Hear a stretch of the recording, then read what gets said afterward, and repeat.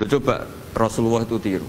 Sholat tuh kayak apa baiknya? Logikanya barang baik tambah lama tambah baik. Tapi itu mukhalafah, itu bertentangan dengan sunnahnya manusia yang suka cepat.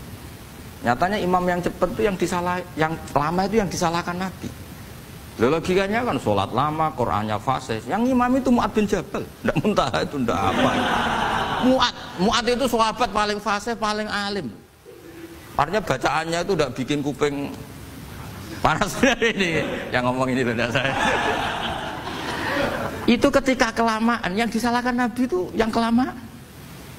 Karena supaya orang seneng sholat ya sholat itu jangan jadi problem dong cara nggak jadi problem gimana ya? Jangan lama.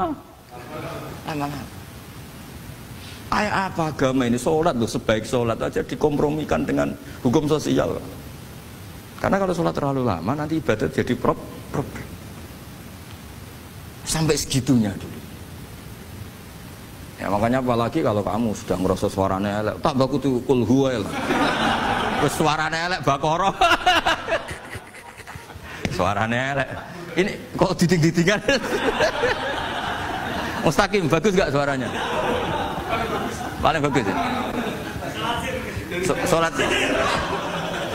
Ya gitu aja ya di Beki ya yang suaranya tidak bagus suruh imami duhur asar aja. Tadi yang bagus biar Maghrib apa? Isya ya. Ya, ya gitu aja.